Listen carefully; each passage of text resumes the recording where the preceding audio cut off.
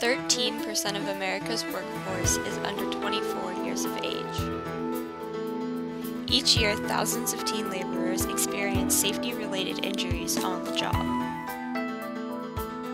From 1998 to 2007, there was an annual average of 795,000 non fatal work related injuries among teens.